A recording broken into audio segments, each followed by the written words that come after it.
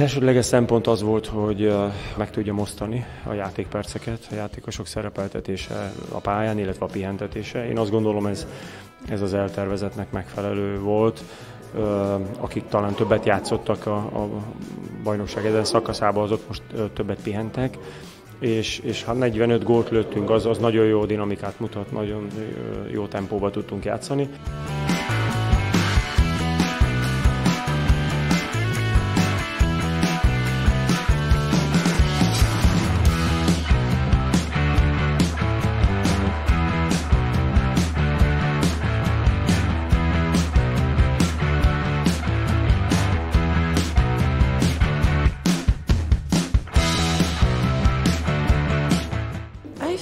We start really good.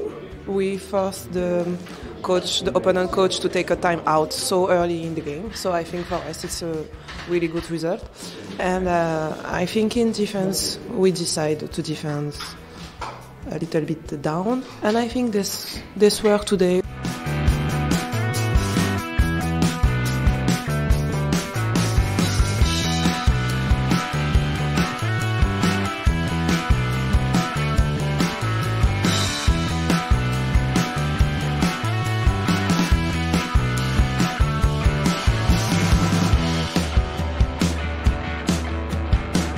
I think uh, especially our focus, uh, everything works, especially in defense. We were aware all the time of their shoots, and then we could uh, score easy goals in counter-attack.